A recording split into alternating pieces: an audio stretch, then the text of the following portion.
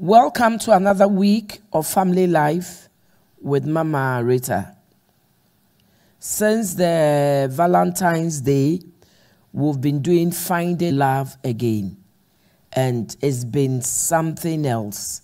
I mean, people have come, shared their testimonies, and we have really learned.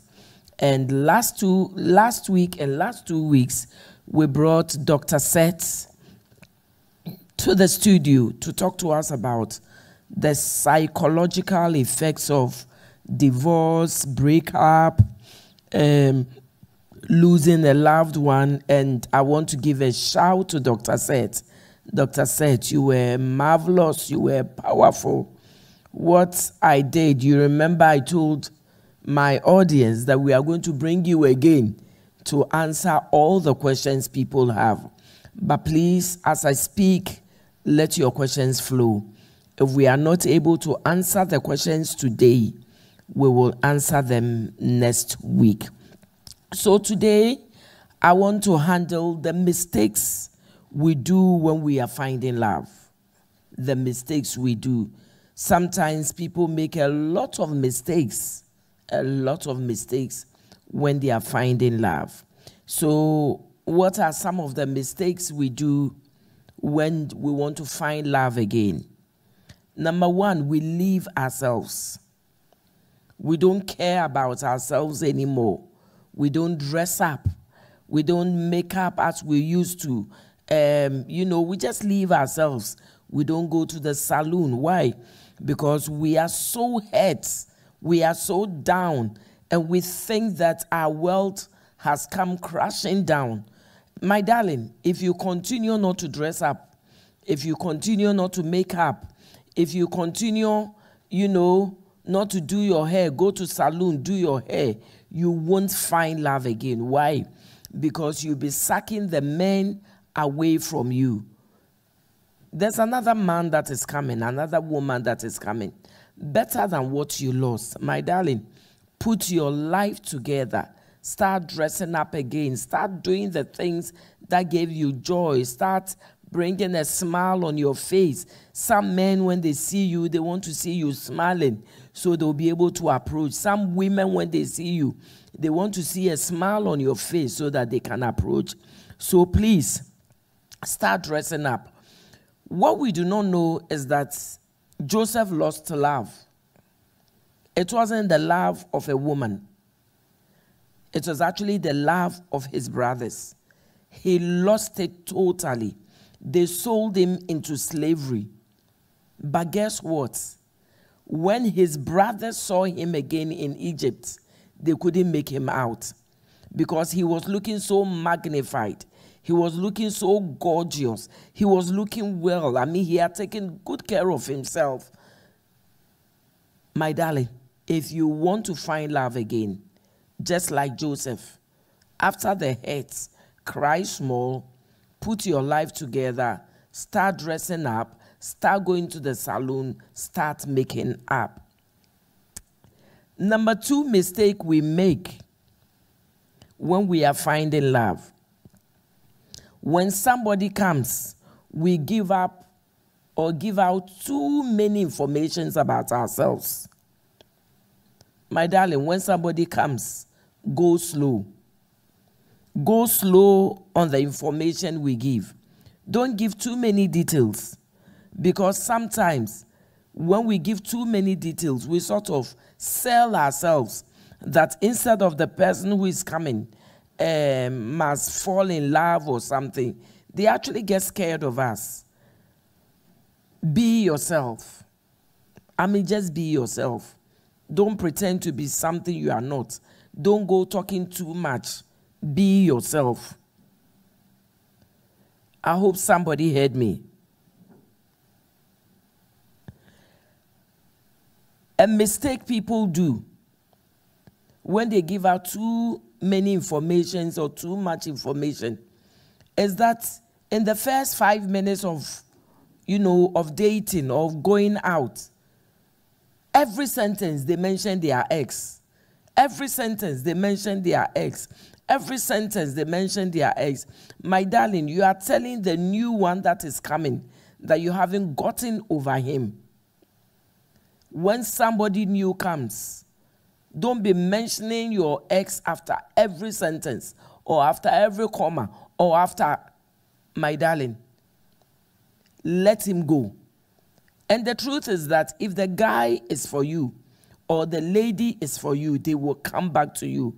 I've seen it happen so many times in my ministry where people broke up, some way, somehow, they came back. Where people divorced, some way, somehow, they came back. Whilst you're on the break, don't spoil the relationship. In other words, when he sees you and he says hello, say hello back. Let him know that he's not God in your life. Let him know that when your mother was giving birth to you, he wasn't around or she wasn't around. With or without him, you can move on with your life.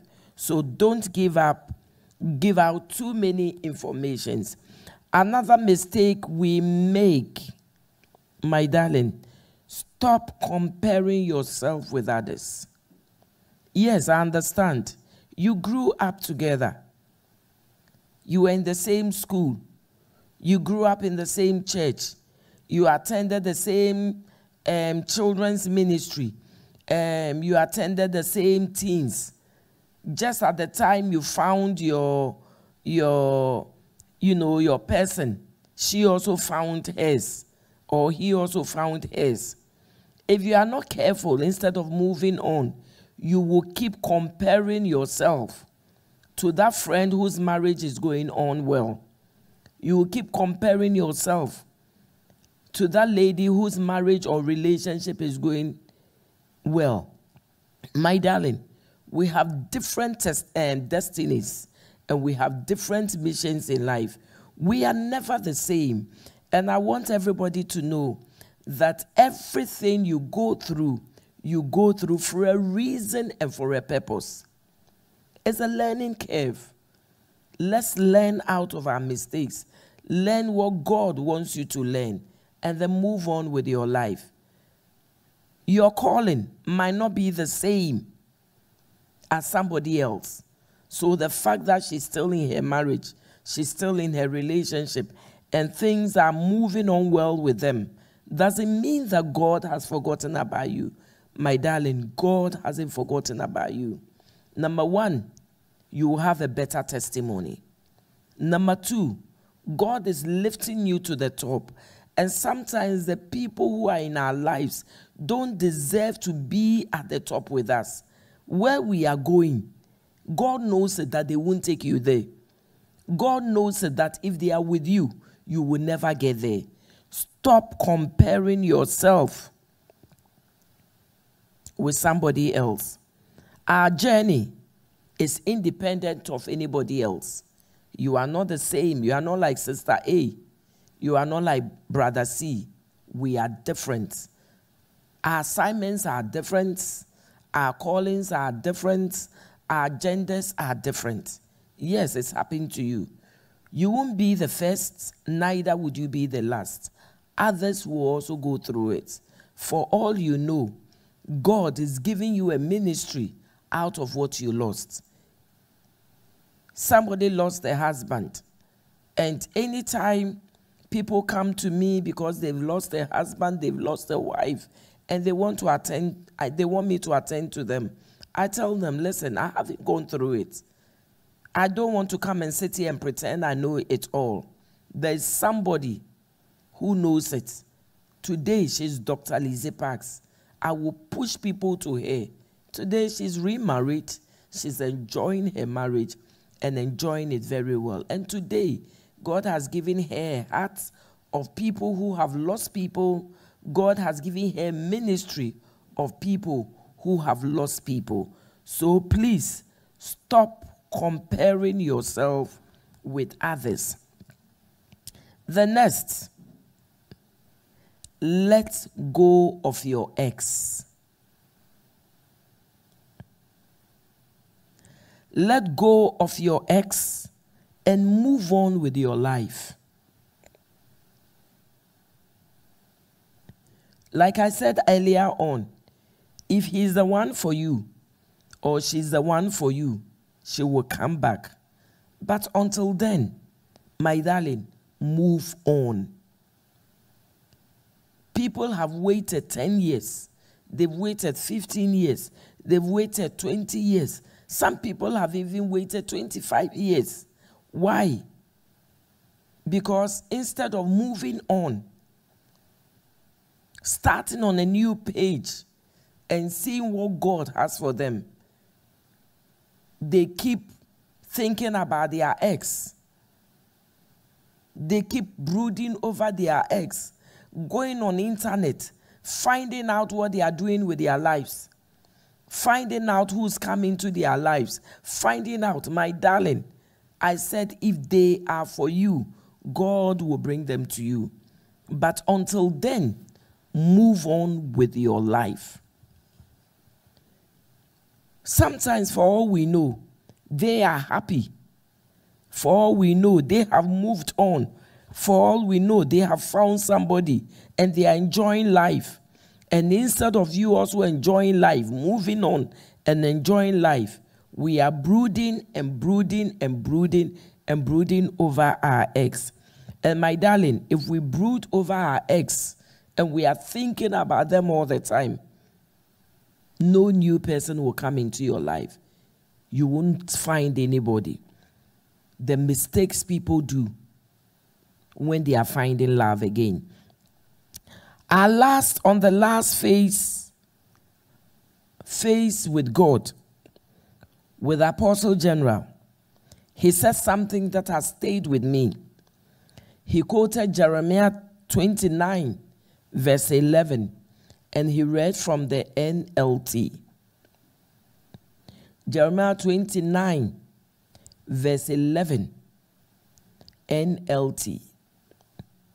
He said, For I know the plans I have for you, says the Lord.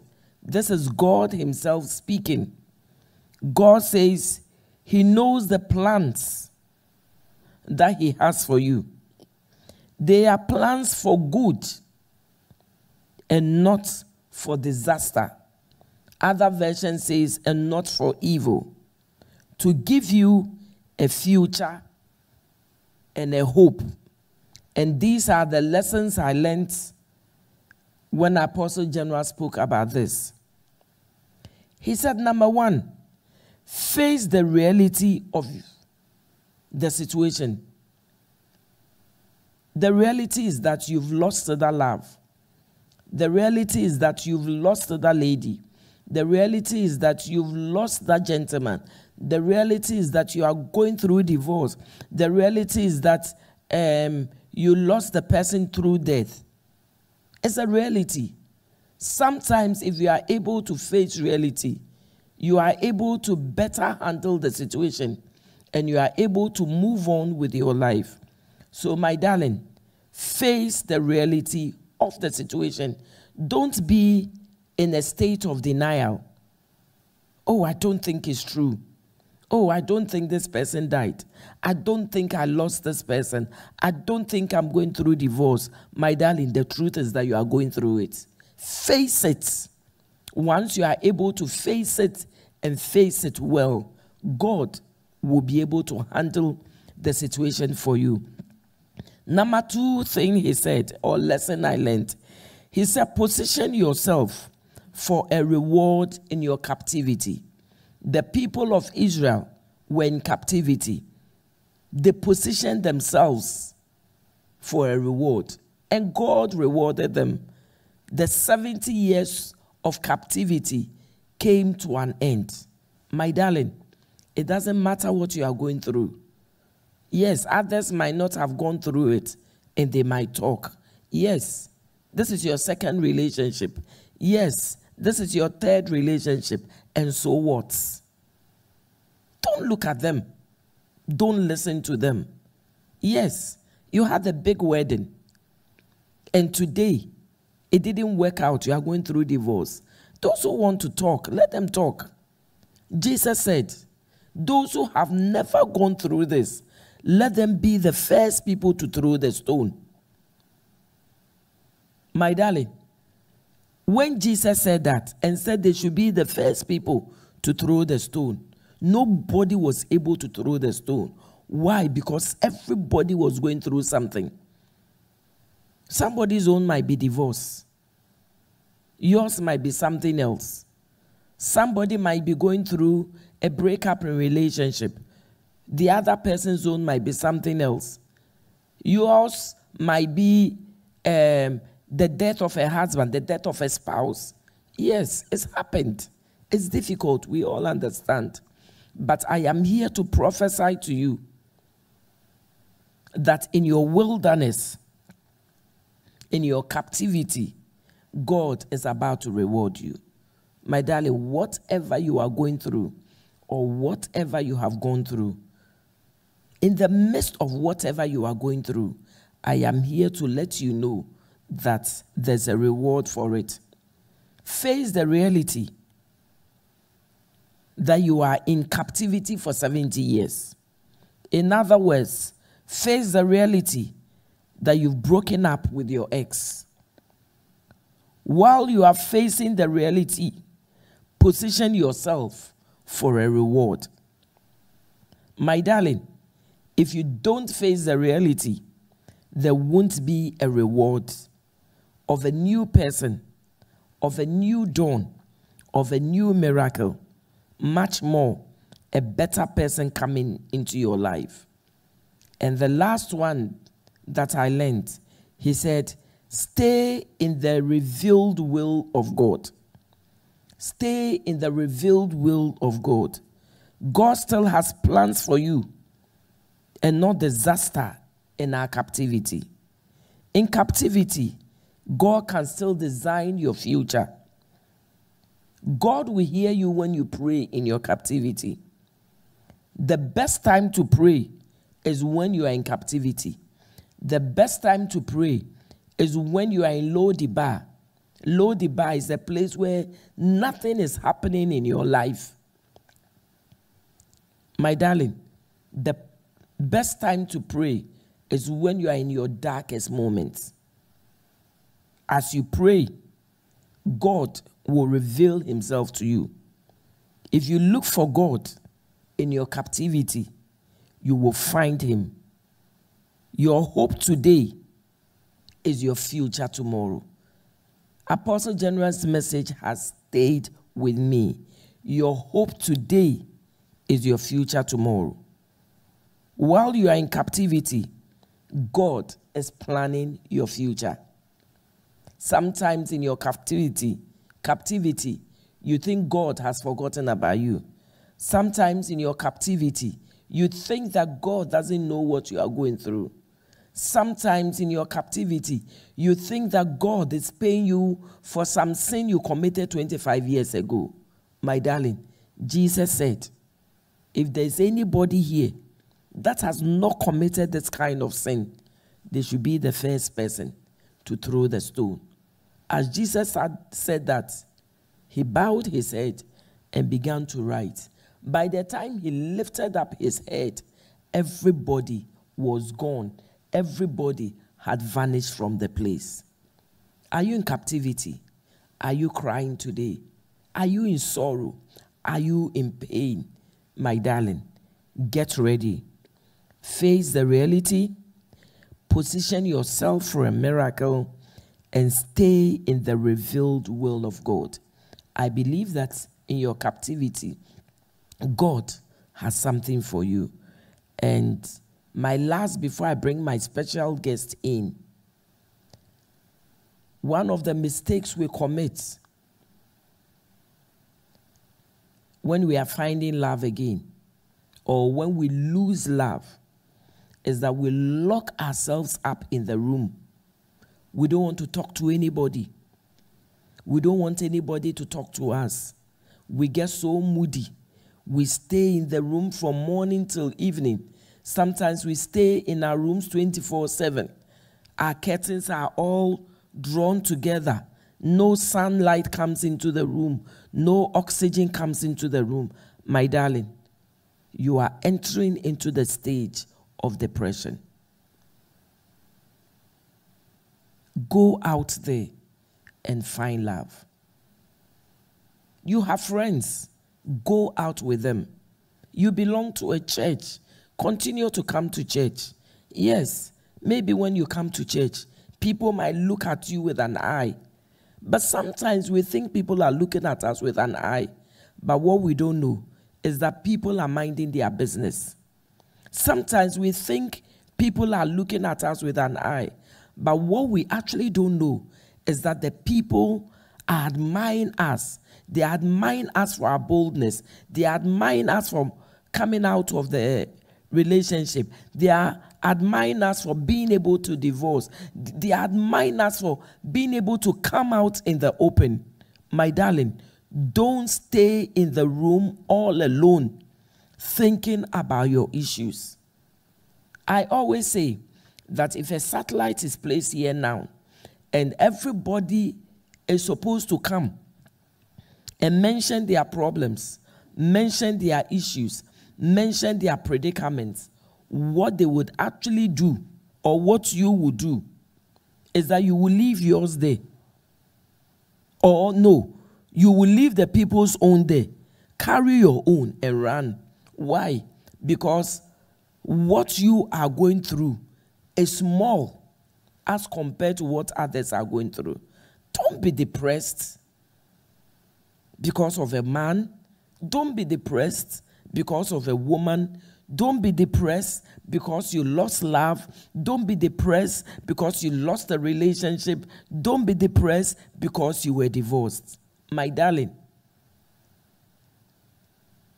in the midst of it, I hear God saying, It shall not be long. On Valentine's Day, we had three testimonies. Reverend Agri, who lost his wife through death and lost two children through death. Like Job, today, God has wiped his tears, giving him another woman, giving him three children. God has added on to what he lost. What are you talking about? We also heard the testimony of Pastor Jifa, who went through divorce. Out of the divorce, she thought God had forgotten about her. She thought people were looking at her. She thought people were laughing at her. Then one day she went to church and an angel came to her and said, You know what? In the same place the devil disgraced you, in that same place, God will magnify you. In that same place, God will place laughter in your mouth. In that same place, God will cause you to celebrate. In that same place, God will cause you to dance. In that same place, God will cause you to laugh. My darling, when God is bringing you somebody, He doesn't bring you the same. He doesn't bring you somebody lower. He brings it seven times what you lost. Today, when you see Pastor Jeffers' husband, treats her like an egg, something she never experienced in her past relationship. And then we also had the testimony of Alice, who helped a man to travel out, went abroad, shopped for the man when the man was going, bought the man's ticket when he was going. The man said, Don't worry, I will come back and marry you. Immediately the man went. There was a first call, there was a second call, and that was the end of the relationship. She never heard from that man again. Today, Alice is happy. She found a place in Christ. She found a place in God. She found a place in Royal House Chapel. Got busy with Royal House Chapel. Today, she's laughing because God has given her a man who understands her. God has given her a man that knows what she's going through. God has given her a man that knows her inside out, that stands with her and supports her. We know Reverend Agri also found love again in church. My darling, if you don't belong to a church, find a Bible believing church. And like I say all the time, our doors in Royal House Chapel are open. Please come we would embrace you. You would have a fresh start, have a new beginning. Reverend Agre went into drinking. Why? Because of the death of the husband. One day, he found himself entering into the gates of Royal House Chapel. And ever since, he's found so much peace, he's found so much joy, and he's found so much happiness. And I believe that your story will be the same. My darling, I won't sit here and say it's not painful. I won't sit here and say it doesn't hurt. It hurts. My darling, it hurts. But put, put the pieces together. Don't make the mistakes other people made. Move on. And I see celebration coming to you again. On this note, we will go for a commercial break. But before we go for the commercial break, I want to introduce to you two wonderful, special people. Oh my God. Special, special, special. They've gone through it and they will share their story with us. We want to find out did they make mistakes? We want to find out did they look up to God? We want to find out what they did and how they've been able to come. My darling, I keep telling you, family life, I am going international. Ooh. Guess where I am today? I am in Switzerland in a church called NIC, New International Church. And with me is the apostle of the church, Apostle John Sagoe. And also with me is Pastor Sandra Sagoe. You will hear their story very soon. Oh my God, I can't wait to interview them. Relax, relax. Today, you would also know that God will do something out of your story. We'll go on a short commercial. Before the short commercial break, I want to say welcome. Thank you very much. Thank and you, thank you. I know how busy you are. Thank you for accepting to come on Family Life with Mama Rita. Thank you very much. It's a very big privilege to be with you in this family life. I've been watching all the way from Switzerland, wow. and so what a privilege to be able to be part of it today. Thank you. Yeah. Mama Sandra, you are welcome. Thank you, mommy. I can't believe that a day was going to come that you you will be the first lady yes. of New International, Church, Church, worldwide. Wide. what people do not know yeah. is that Vashti in the Bible mm. made mistakes, mm. lost her relationship, mm. lost her marriage. But what she didn't know was that God was preparing somebody, Esther, Esther mm. to take up that position, mm. to take up that honor, mm. and to take up that glory. Today, you are the Esther of our days. We will go on a short commercial break and we'll be back. Hallelujah.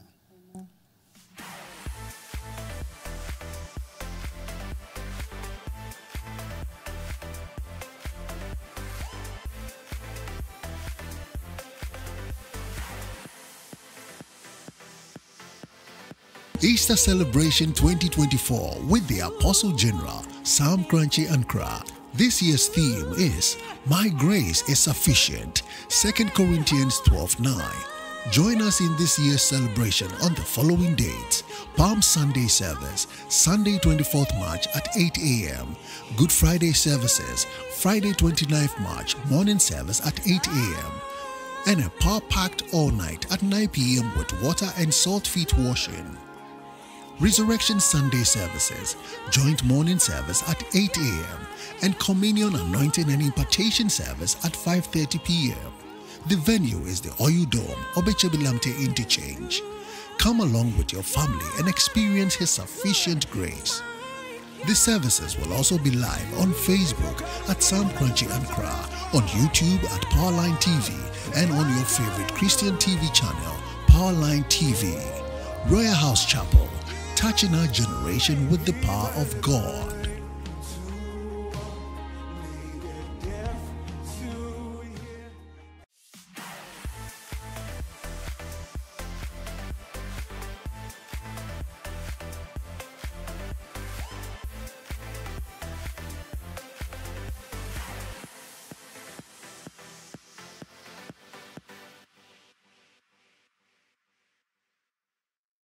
Welcome back to Family Life with Mama Rita. If you are just joining us, today we are handling the mistakes people do when they want love again. And with me is a wonderful couple, my son and my daughter, who today have become a brother and a sister. When your children grow up to a certain stage, now you sit in council with them you reason with them, you take up ideas with them. And this is the son that I have. He's made us so proud in Switzerland.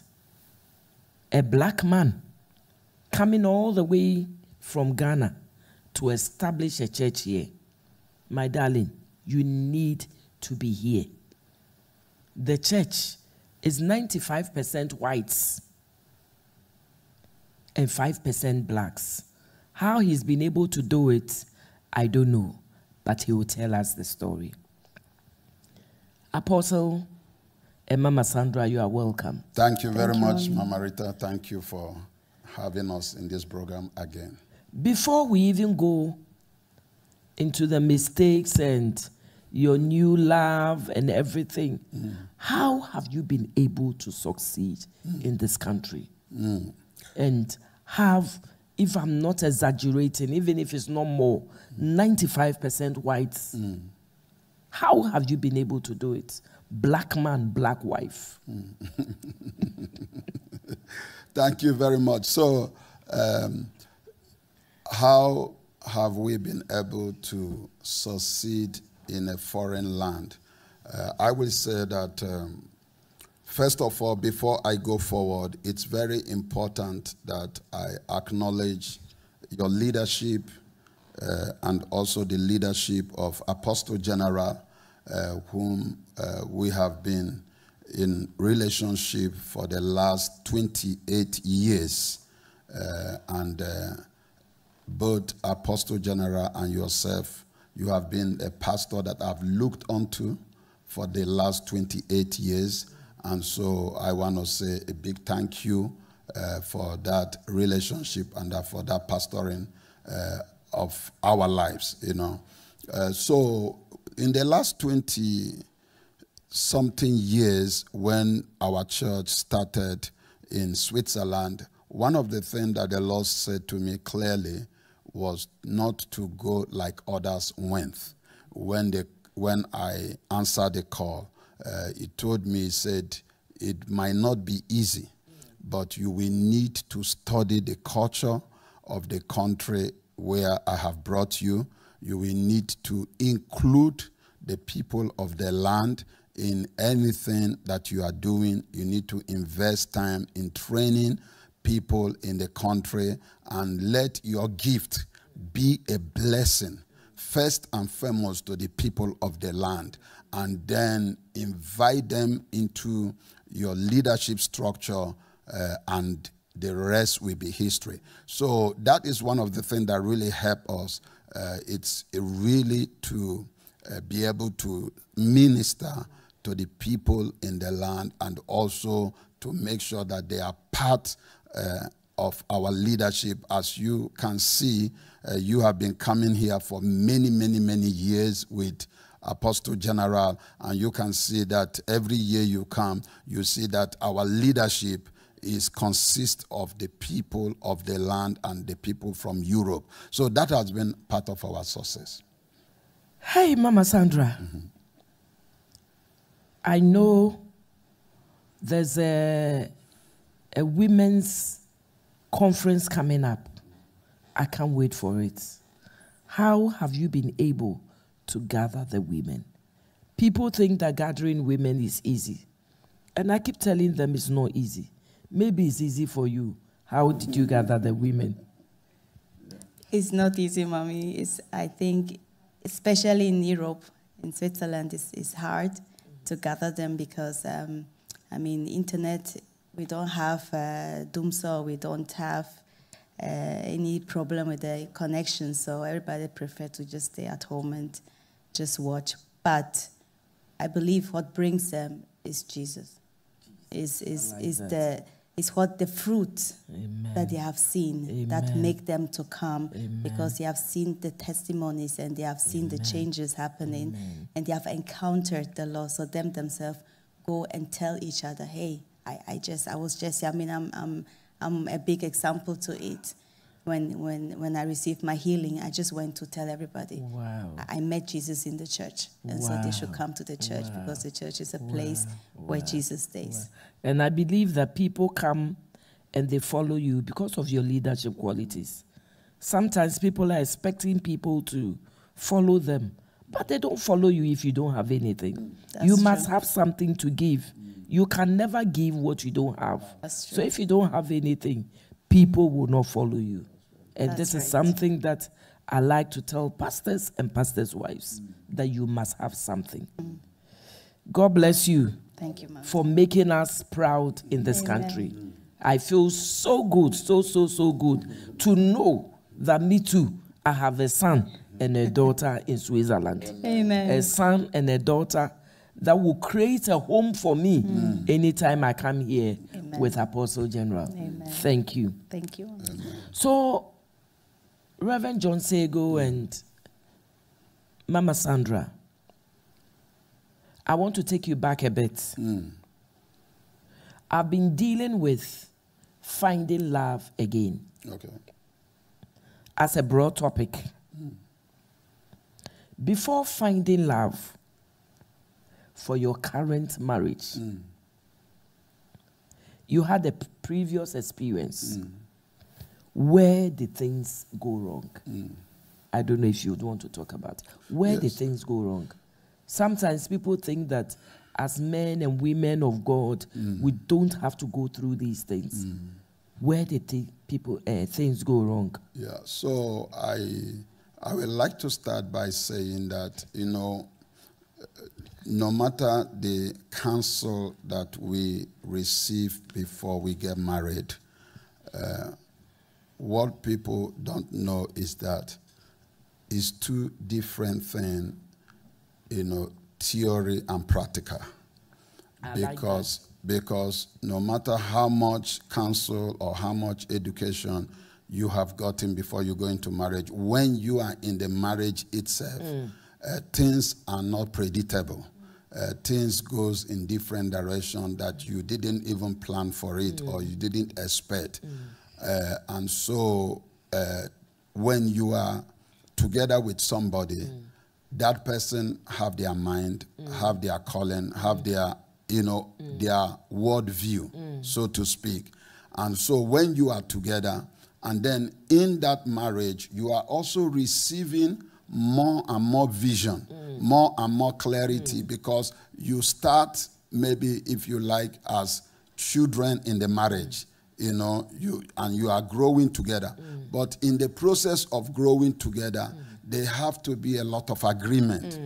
And where this agreement comes in into the marriage it's where the marriage starts shaking. Because when there is a lot of disagreement and there is no the bible says how can two work together Unless they agree. unless they agree. Mm. So most of the time, what really happens when there is a problem in marriage is that there is a disagreement, mm. there is there is division. Mm. Division and no more together. There is two different vision, you know. And so where there are two different vision, the division comes in, and then it brings in distrust.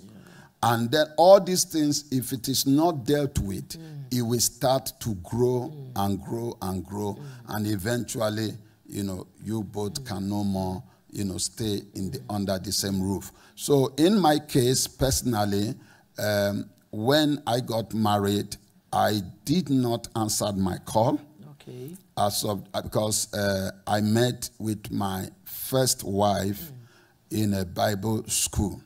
We we met in a Bible school. We went together to a Bible school in South Africa. Okay. And even though I always know I have a call, I I never thought it will, the call will be a problem Okay. because I always think because I have a call and we have met in Bible school Yeah. that we will never have any problem. We will together go into that call, uh, you know, when the time comes. You know, so when we finish our school and in South Africa and then come back to Switzerland, and then we now started a ministry. That is where our problem started. Our problem actually started when we started a church. Wow. You know, and this is what a lot of people don't know that it can be that the fact that somebody is with you when you have not yet discovered your calling That's right. does not necessarily mean that they will be with you when you discover your calling. like. So when when because the process of discovering your calling, you go through a lot. Hmm. You go through uh, you yourself, like I say, you are like a child. So you are learning a lot of things are new to you. So you are learning a lot of things, and you are trying to focus. You are trying even to convince yourself, because uh, I, I I was teaching the other day, and I said that there are five to six major men and women of God in the Bible that when God called them, they were doubting the call. And majority, when the call is really from God, because the call of God is really big, He always come exceed what you yourself can actually comprehend. So when the call come and you embrace it and you realize, oh, at a point you start asking yourself, can I really go all the way through? Can I be faithful all the way through? Can I be able to do this thing God is calling me to do? So while you are doubting yourself, you are also encouraging yourself at the same time because you want you want to please God. You want to do the will of God. So in the process, you then have to deal with the marriage because you still have to explain to the external, you know, person that uh, that is with you that you have now found this new love, and that is one thing also about accepting your call. Because it's like you accept it when you accept it it's almost like also finding new love. So so if care is not taken it's like you are having two lovers at the same time. Wow. that you have to Wow. deal with you know. And so the and you know that when you find a new love there is a, a kind of passion that Inside you, you. that is inside of you that you you just want to go all the way for it but then it can make the other lover jealous Okay. and so if you don't know how to balance the two I hope a young man out there is learning something. yes so, Somebody that thinks that he has the calling of God over over his life. Hmm. I hope you are learning something. Yes. You married when you hadn't entered into the call. Mm. Now within the marriage, you realize that you have a call. Yes. Remember, when we receive Jesus or receive the call, mm. it's like we have fallen in love again. Mm. Now here are you. You have two lovers, yes and there's always jealousy. Yes, somewhere. somewhere. Wow. And and and uh, and then also when you go deeper, you will see that you are dealing with a divine lover, Mm. and the divine lover has a lot to do with spiritual Mm. and physical. Because in as much as you could feel Mm. the presence of God in the physical, you are also feeling it in the spiritual. Mm. And so sometimes you don't even know how to explain the spiritual aspect of it than to just tell your lover, your physical lover, that you are on the right track. You are convinced that you are in right track. So in my case, there was this two battle that was going on uh, when I, I give my life to Christ. So, uh, you know, Mama Rita, one thing you need to understand is that some of us that was not born into a pastoral home, we are not PKs we have really lived life and we have served the devil. And, and if you now found Jesus and Jesus called you and put his passion in you, you go with that craziness, that aggressivity, with that love, that passion you used to serve devil.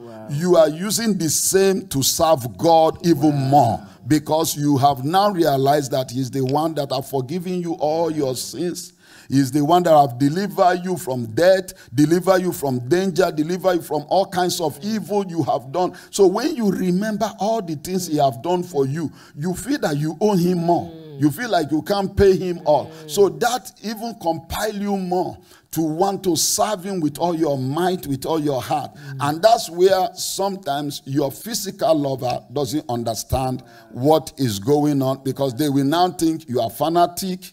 You are too are extreme. losing it. You are losing it. Maybe one day you will fall. You will, you know, make a so uh, a whole lot of things. So that was the beginning of my own challenge. Okay. So it helped me to go to the level whereby I have to totally depend on God because I it it comes to the point where you have to choose Okay. between your wife and God, between your wife and your relationship with God, because it's not even the calling, it's the relationship with God that you have started enjoying in another dimension. We will come to that again. I would ask you a question on that. Hmm. But I want to find out during the period of separation and divorce, hmm. how did it affect the church? Hmm. All right, so during the, the, the separation time, again, it boiled down to who you are and how you have pastored the church. Uh, when we were going through our, you know, separation, uh, I was always very transparent to the church. I give you some example.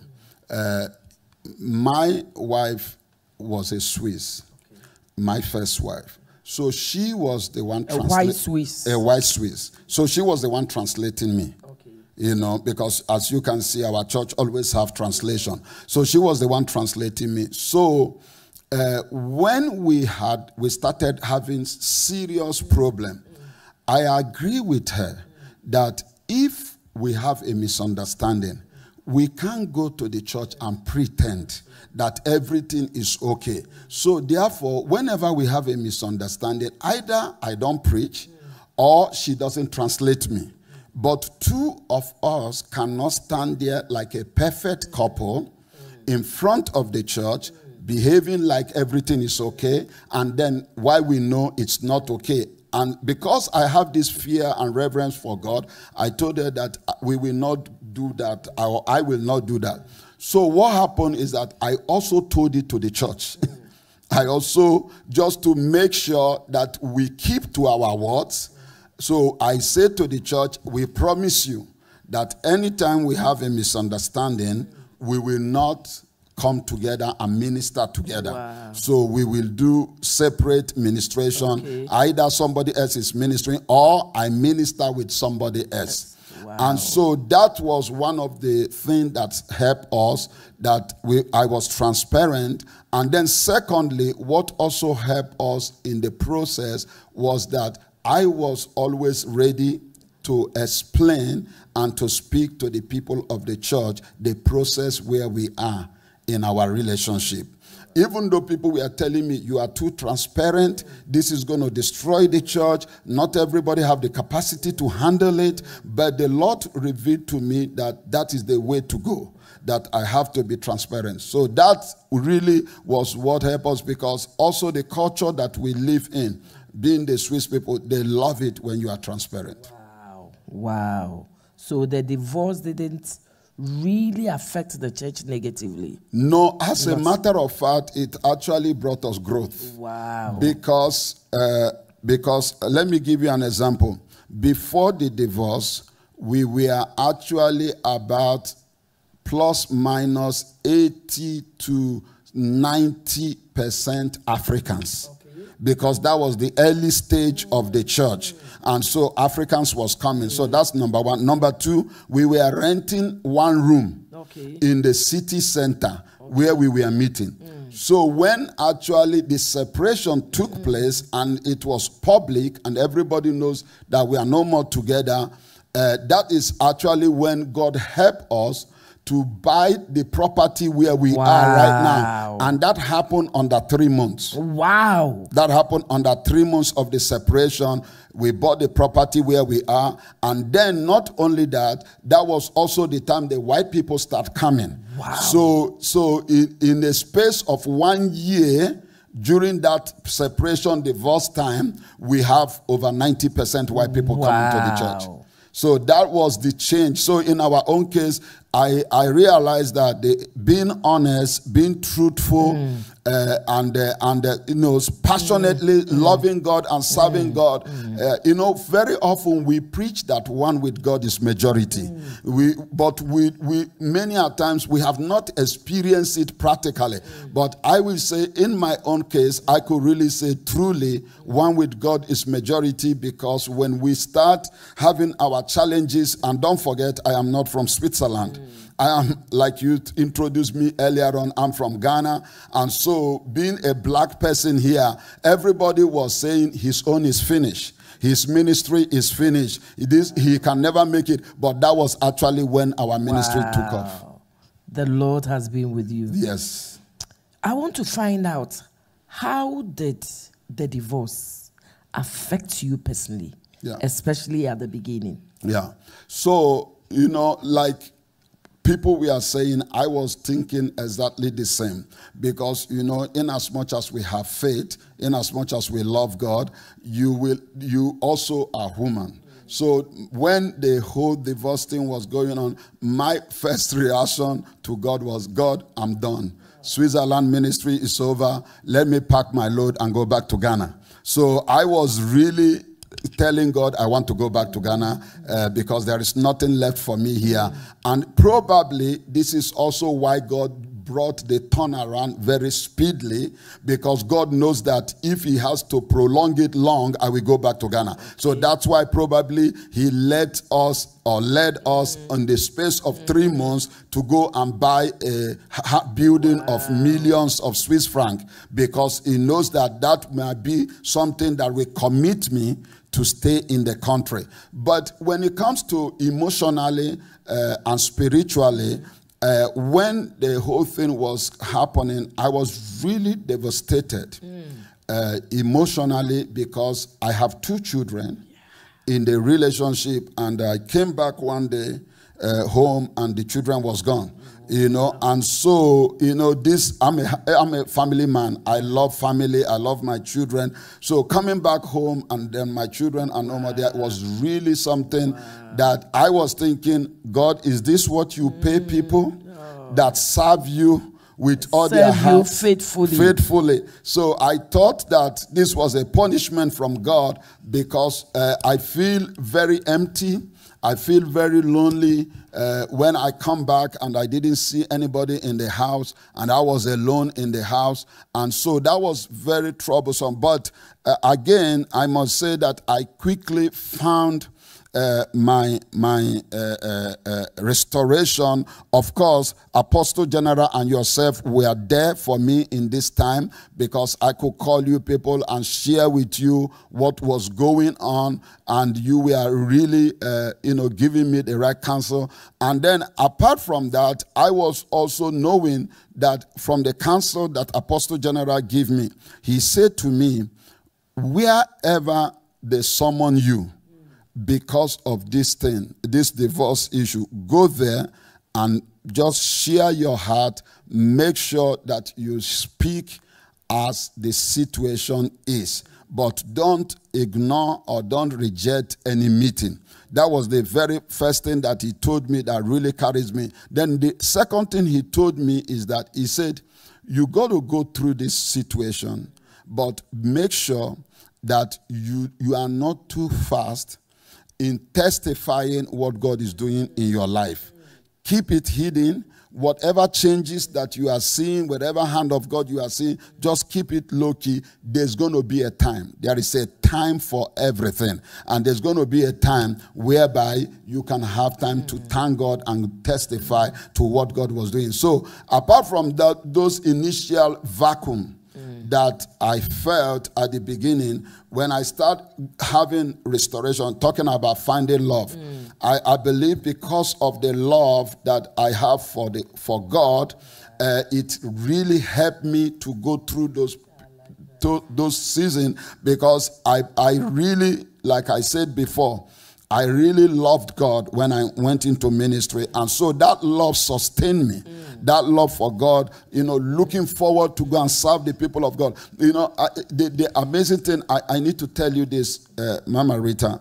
You know, during this time, I was, you need to hear this story. I, I was invited to go and minister in United Kingdom.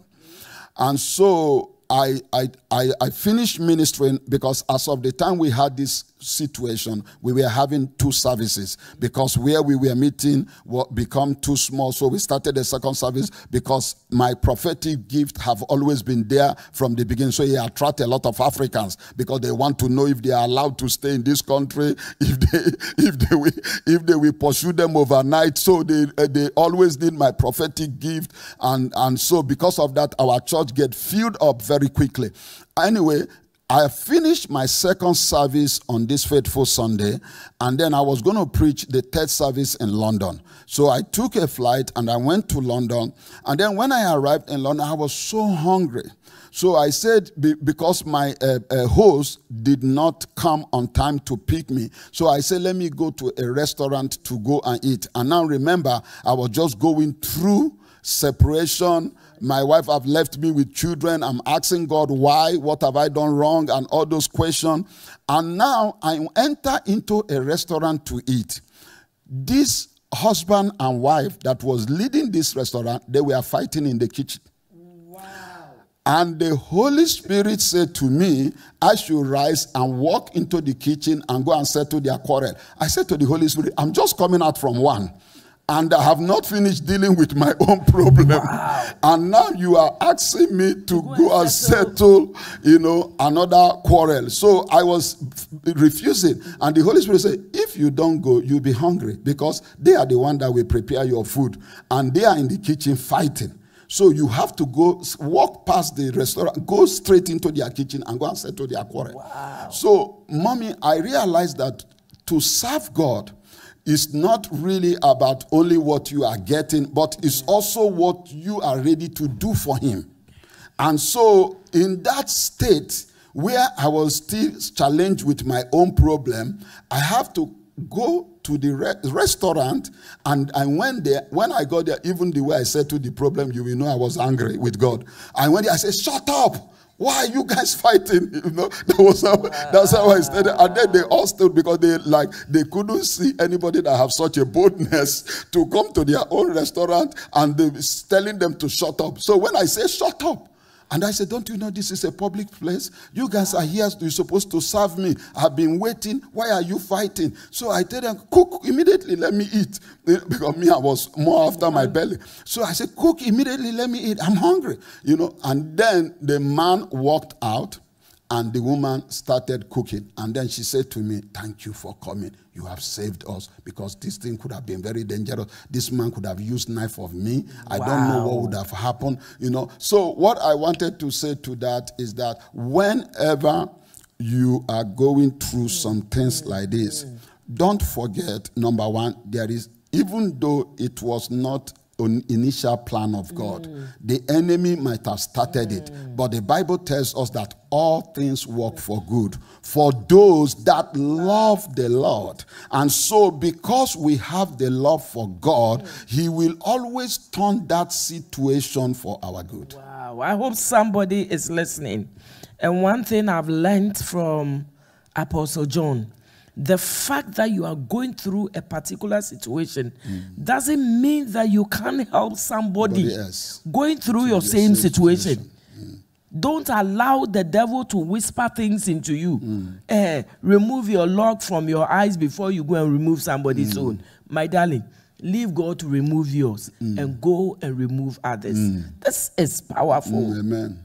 Amen. This is Amen. powerful. So that actually lead into also the restoration of our church because I was always there serving. I was always there serving marriage couple. Even sometimes I will be in a marriage counseling and I was telling myself, you're actually going through the same thing that you are dealing with right now. And God just take that love, that passion that I have to see people restore and then to preach to people and to, you know, share love. As a matter of fact, a lot of people were telling me during that time mm. that they, they, they really love, you know, our ministry. People come from everywhere. They come from far and near to the service because they say that they can feel the love of God when they come into the service. So I believe that the love of God is the primary thing that really has kept me during that season. So I want to ask you a question before I come to Mama Sandra. Mm. Mama Sandra, I haven't forgotten about you. From the time you divorced, Mm. how long did it take you to find love again? So, mommy, this is a very good question because when I divorced, I actually said to myself, I will not marry again. Because I thought when because more especially when I started doing ministry and then I started enjoying, you know, the singleness, you know, to be alone, uh, to travel, uh, you know, you don't need to talk to anybody. You just carry your bag and go. You know, you just meet, you know, you make your own decision and etc. etc. I was really enjoying it. So I was not thinking. Let me use the word.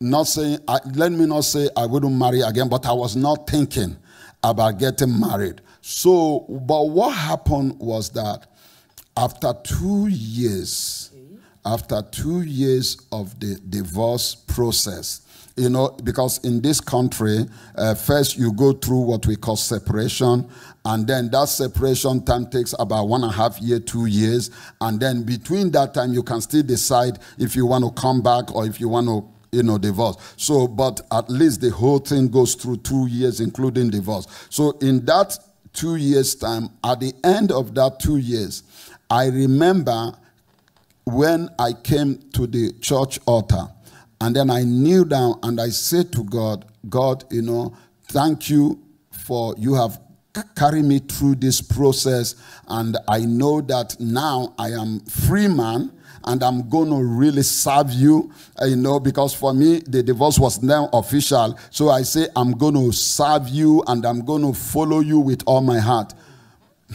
Mama Rita, you can't believe.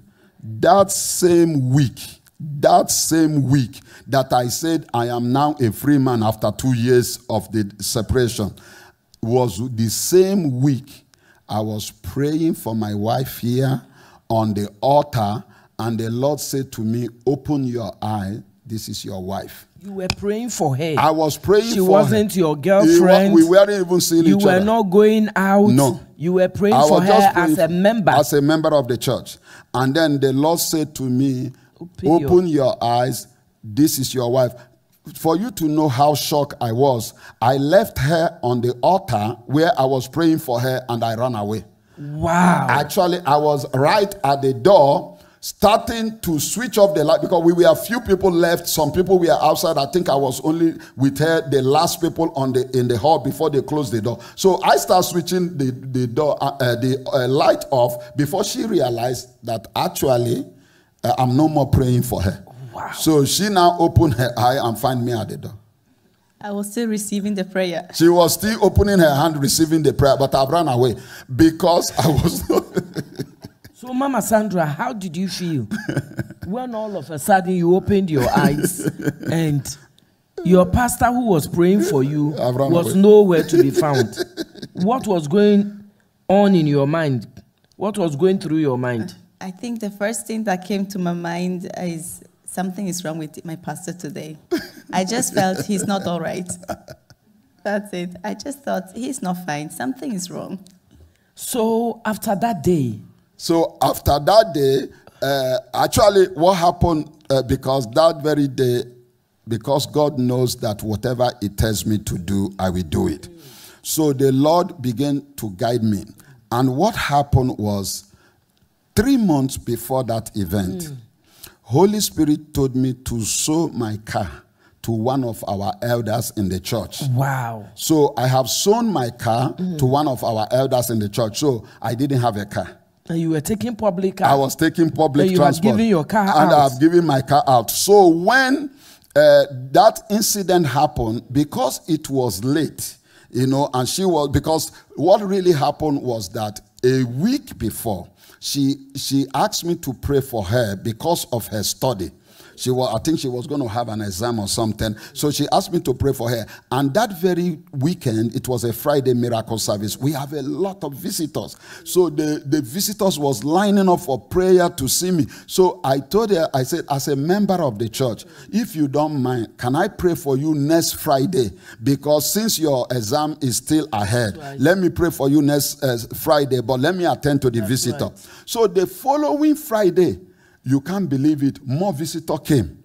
So the place was packed again, and there was a long line again, and people wanted to see me. So I have, I have you know, finished counseling them. I think it was around 11.30 or something like Here that. was she waiting for you? Here was she waiting for me. And now I wanted to go because I had forgotten that I actually asked her to wait. So I wanted to go, and she reminded me, said, that, but you promised me that today is my prayer. So I said, oh, now I have to keep my promise. So that was why we were the last people that were on the altar. So when that incident happened, and I ran to the to out to the door, and then by the time I recover myself, and I and uh, she opened her eye and come and meet me at the door. I, I the Holy Spirit then told me and said, "Be a gentleman.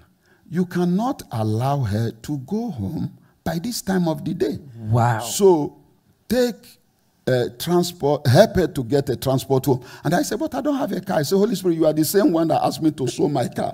I don't have a car. So how am I going to help her? Then the Holy Spirit said to me, for the first time in my life, the Holy Spirit said to me, Go and drive the church bus. Can you imagine? I have to be the. I was like, I said, if people see me, what would they say? I, I have to go and look for the church bus key and use Right. the church bus with the church logo and everything to drive her home. So when I was driving her home, while we were driving, the Holy Spirit said, Ask her, will she imagine marrying you in one year? All this thing was happening in the same day after I came to thank the Holy Spirit that I'm a free man.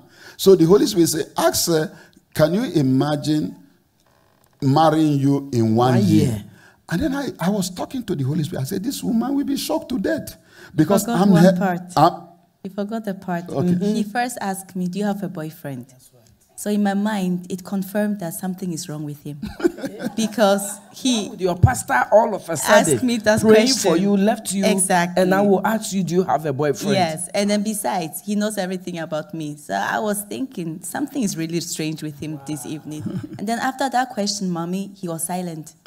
He because I was speak- battling with the Holy Spirit. He did not speak for about seven minutes. Yes. So my mind reconfirmed again. He's really not okay. I, I was battling with the Holy Spirit because I was asking myself, how do you put this kind of a question to somebody you were praying for a few minutes ago? And now you are not going to be talking about, will you, not even, uh, can you imagine dating me? Not even, can you imagine But me be, marrying me. Marriage, direct, in one year, and with specific timing. So, so I, I was saying to the Holy Spirit, I will not do this. So the whole thing was tormenting me, mommy. It was like a torment. So the whole thing was tormenting me. And so by the time we got to her place, I think when she was opening the door to get out, because I know that is the same Holy Spirit that have been leading me is the one telling me this thing. So just to free myself, so as soon as she opened the door, I asked her, "Can you imagine marrying me in one year?" She banged the door and ran away. So that was how I was able to say that What, thing. what, what went through your mind that night? Honestly, You still mommy, felt the guy wasn't correct. I did. And when I went home and I slept, I forgot about it. okay. I did not remember at all. So I went, I went to work in the morning. Around 4:20 p.m. is when the whole thing came back, and I realized, oh, he asked me a question if I can marry him in a year. So then I asked myself, is he really okay? You know. And then also that same year, I told the Lord on the in the 31st of December 2008, I told the Lord, I don't want any man in my life for one year. I just want Jesus Wow. as my everything. So when he told me, my heart was already given to Jesus. So it was like, I'm, I'm not interested, but then at the same time, I don't want to disappoint God. So I always told him, let the will of God be done. So, how long did it take you to say yes? Six months. Six months. Yes. And in that six months, the Lord told me that I am not allowed to tell her that it is the Lord that told me that she's my wife until she accepts to marry me. Then I can tell her what happened on that fateful day on the altar. But I'm not allowed to tell her what happened. So, Mama Sandra, this is a man, your pastor. Mm-hmm. You knew he had been married before. He was out of the marriage. Now he comes asking you, Would you marry me? Didn't you think, hey, if he's gone through a first divorce, number one, he's too wounded. Number two, he's too hurt. Can I deal with it? Uh, won't the same thing happen to me? What was going on in your mind at the time? I think God really protected me a lot um, because anytime He opened up to the church, what was happening, I wasn't around. So I never really got to hear anything. Okay. Not directly from Him, only through uh, a member. Yeah, gossip. Okay. that would just tell me, oh, he, he said this in the church, but I never heard it from Okay. him. So for me, and also at the beginning, throughout the whole six months, I did I loved him as a pastor, but that was it. So there was no other feeling for him. So I never worried about anything or what did he went through, how is he going to be. That never crossed my mind because I, I really trusted in the Lord fully. And I knew I promised the Lord I want to just be with him and no one else. So I was not bothered. I didn't even pray over it. I told him I'm too busy to pray about relationship with him. So he is the pastor. He can pray and then he can tell me what the Lord tells him. Wow. And, and, and now, so there is the conflict. The Lord told me I should not tell her that he's the one that is behind the whole thing in the sense of he's the one that asked me to marry her. She's waiting for me to tell her what the Lord tell me. So that was why we were dragging the whole thing. The only thing I encourage her throughout the six months is guide your heart. Our, our slogan in that six months period was I was always telling her, guide your heart.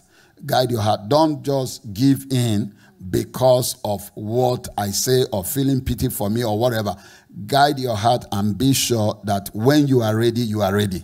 Because I also, like I said, I needed a wife, but I was not in a hurry. Yes, I because uh, actually it was when she finally accepted to marry me was when I actually know I realized I was in, actually in trouble with all the women's in the church. Wow. I didn't realize it because it was when she now said she's going to marry me, and the day I made it public, mommy, you can't believe how many African women that left our church.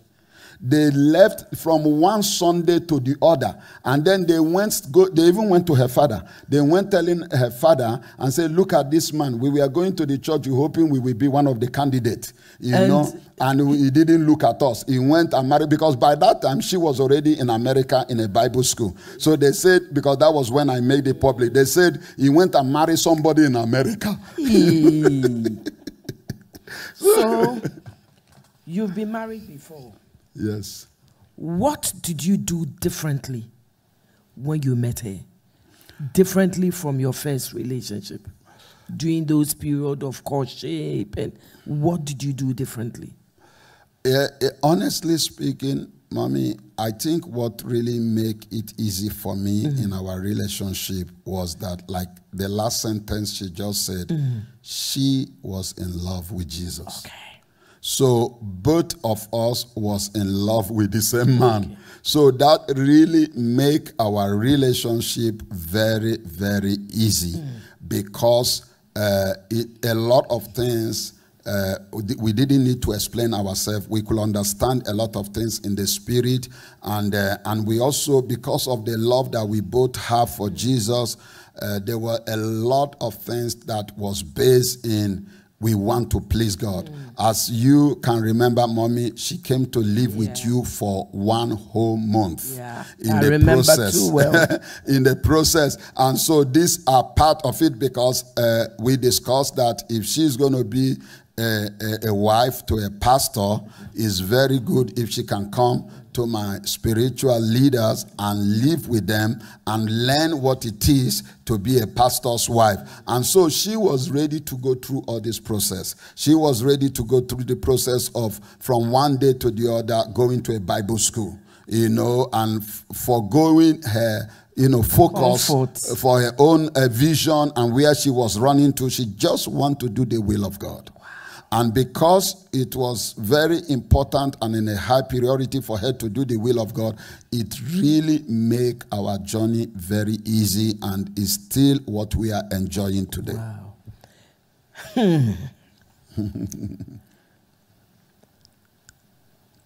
now you meet her. Mm. She's not in leadership. Mm. She's not a frontliner in the church. Mm she was an ordinary person. Mm. Mm. Black girl. Mm. How were you able mm. to get the church mm. to accept her? Mm. So one of the one of the things that she na- naturally is she's a very humble woman. Uh, she's not materialistic. Uh, she's not somebody that look for position. Mm. Even before she was, you know, she, she, we talk about marriage and she we get married. She was never, never in the church looking for position. Uh, she's somebody that will just come, go behind. She was in the media. Mm. She will go behind, do her job faithfully come during the week in the church, do her job faithfully, and go. And she doesn't even know who see her and who doesn't see her. Mm. So with that attitude, uh, when she become the first lady mm. of, and don't forget, by this time we have already started planting churches. Okay. So she become the first lady of New International Church movement from one day to the other.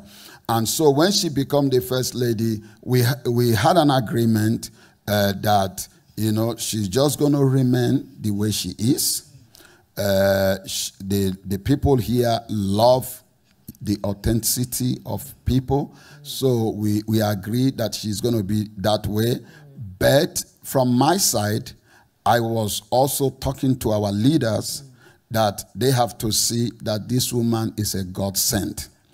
Because for a man of God that have so much vision for the nation, for the continent, for the world, for me to be able to run, I need somebody that can be able to minister to me at home. I need a home where I can go to. I need a home that is homely. I need a woman that is a mother. I need somebody, like I said in one of our meetings, that can pastor me, where I can share my own burden and can speak with wisdom.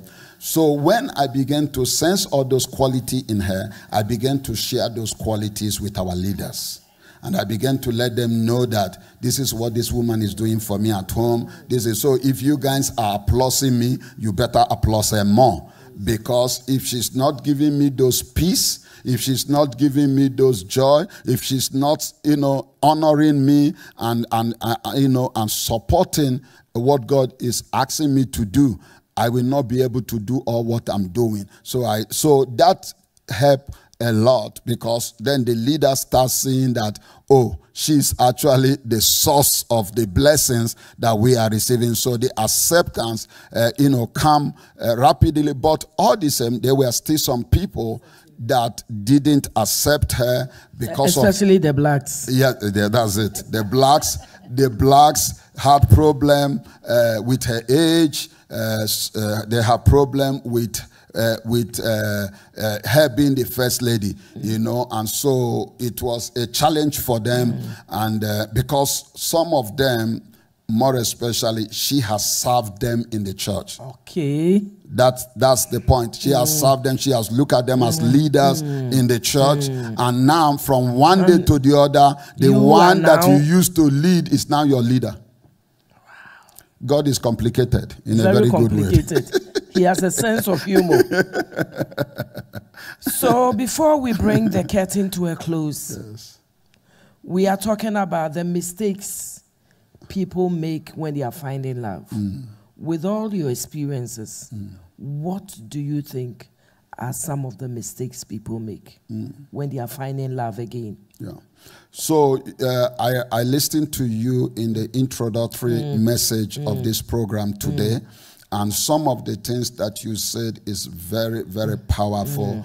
Uh, you know, some of the mistakes is, you know, like I also said about myself, you know, you want to close up because you have been hurt before, you don't want to open up for anybody to hurt you again. So we have this whole thing that we want to just put a wall of defense. You know, we want to close up, shut up our emotion, and then you almost put up this attitude of anybody that offend me, I give it back to them. You know, so you are you are not really being yourself. So I think this is very important. You know, one of the things we saw in the scripture, more especially when you read in the book of Genesis, chapter 32, and you read about the story of Jacob, you will see that Jacob, after he has left his father's house and have went and he has found fortune, has found favor. The Bible made us to understand that when he was coming back, he got to a place where he sent his wife away, sent his children away, sent all his wealth along to go with them, and he was alone. And before the Bible tells us that he was alone, the Bible told us that he was a good man. So the fact that you are a good man does not necessarily mean that you will not get to that place where you have to face yourself and you have to face your weakness. You have to face you know you, you your reality. And the bible and i love what the bible says because the bible says that when jacob encountered the strange man that he wrestled with the bible says that he dislocated him even though he um, overpowered the man, but the Bible said he was dislocated. So I understand that sometimes when we are hurt, we think, why me? But sometimes God also allowed that thing to happen to us in order for us to also know going forward how we can handle people, how we can handle success, how we can handle different situations. It's a learning curve is a learning curve. So, one of the things I want to tell people out there that are watching us today is that if you have been hurt before, number one, don't close up completely. Open up, like it was said already by Mama Rita, you know, go, be ready for a new date. Be ready for a date because if you never give chance to somebody, how will you be able to know what they are made up out of? For example, if I never give chance to my wife, I mean, this woman is the best thing that ever happened to me in life. That's- I never know that marriage is this sweet. I never know that marriage is this wonderful Ah. until I met her. And if I have never given her that chance, if I still was closed up because I was disappointed, I was this man that came back home and my family was gone, and I think, how can somebody do that to me? And I will never allow any woman in my life. I would have still been a lonely man today, and I will be suffering. So it's very important that we give the second chance, and not giving the second chance doesn't mean that you have to compare. I mean, like you know, Mama Rita have already said it today. We don't need to compare the past with the present because God is a God of second chance, and what God has in stock for us is always better than what is behind us. And so I realize that it's good for us to come into the new relationship like nothing has ever happened and not talking about the past, not bringing the past relationship into it. Don't compare your present with your past, but just carry it like this is just behave like you are a virgin. behave like you have never met, you have never dated anybody before, you don't have a past, that this is a new chapter of your life, this is a new beginning, so that the love that love can grow on a healthy ground and not a replaced love. Before we close the curtain,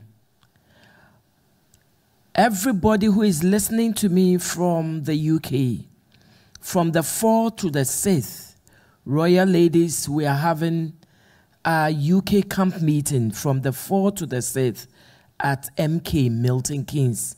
Um, if you are not sure with the numbers coming on, you can call and the address will be given to you. Make a date with me. Our first edition of 30th Royal Ladies 30th anniversary um, camp meeting is coming on from the 4th to the 6th um, of what month are we in? March, 4 to the 6th of April. Make a date with me, 4 to the 6th of April. I'm going to be there. Apostle General is going to be there. Reverend Imago Meda from America is coming. I mean, powerful and seasoned speakers. Our children that we birth in Royal House Chapel when we started Royal House Chapel, the children we birth that started following us as toddlers to camp meeting this year, they'll be speaking to us. Make a date with me from the 4th to the 6th of April in Milton Keynes for Royal Ladies first edition of 30th anniversary camp meeting. So we will bring it to a close. Mama Sandra, you've done so well. Thank you, Mommy. I want you to tell a woman out there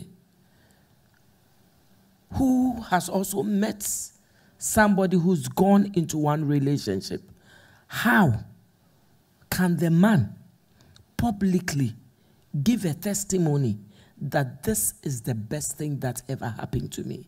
How can you bring your children and the children he brought into the marriage together? Mm. You've done so well, and I think you need to advise a young person out there mm. that is listening to us. Thank you, Mommy. I believe really strongly if you know you have, you have married a man who has gone through divorce, love is the key. Mm. Because the man went through a lot, so your love will help him to overcome the rest. Mm. And then also, you have to love yourself. You have to know who you are and appreciate yourself. So, I love my life. I love my me also being my, alone, having my space. I love also being with him. I do not depend only on him. I know that God is with me. And then also come together in prayer because prayer is indeed the key. You know, having God as your foundation in the relationship, you go far. Trusting in the Lord together, you go far. And then when it comes to the children, one thing the Lord told me before I married was take his children as your own. Treat them the way you would treat your own children. And I took that This is a woman of wisdom. I took that very serious, mommy. I really, I love them. Mm. When someone asks me how many kids, I tell them I have five girls. I don't see the difference. Yeah. You know, is is after they asked for the ages, then I have to explain them. but otherwise, I'm like I have five girls. Mm. They are my girls, and I love them so much. And I always tell them how much I love them because I see them as myself. I see them as my own, even though I I was not there when they were born. But to me, They are yours. they are mine. And I call the first one of his, I call her my firstborn. Wow. So she's really, I see them as mine. And I think if you can accept the children of your husband or the children of your, Your wife, wife. take them as your own, love them the way you want. You know, you would love your own children Mm. or love them the way you want to be treated. And don't think because they are not from your womb, you can't love Mm. them. No, you can give them even a lot of love. If you love them, then that will also bring the family together. Now, the small girls, when they see the big ones, we are one. They don't see the difference at all. Wow. Wow. I can confirm that. That is so true. And that has bring peace in our family, and uh, we are really grateful to God. Wow. Yeah. Thank you, Apostle John Sagoe and Mama Sandra. I have really enjoyed my time with you this evening. And certainly, this is not going to be the last. You've done so well, and you are going to come on. I can imagine the questions that people have asked or are sending.